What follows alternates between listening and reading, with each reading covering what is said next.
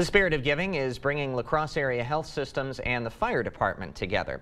La Crosse Fire is resuming a Christmas time tradition that spans more than three decades. Staff are donating gifts for kids at Mayo and Gundersen who have to spend the holidays in the emergency room.